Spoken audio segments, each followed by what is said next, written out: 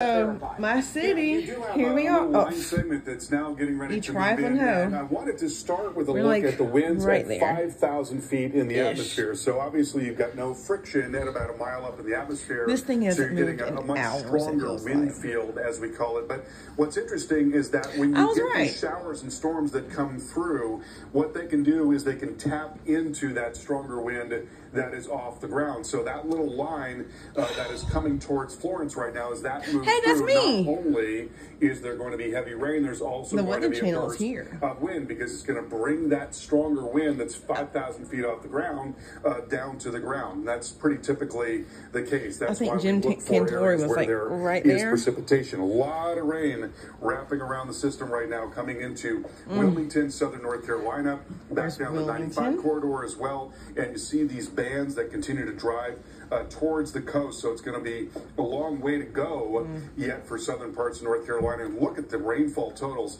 This is the last six hours, and this is a huge area with more than three inches of rain. And then there are pockets, five, six, seven inches of rain within that in that orange color. So we're getting a lot of reports of very serious.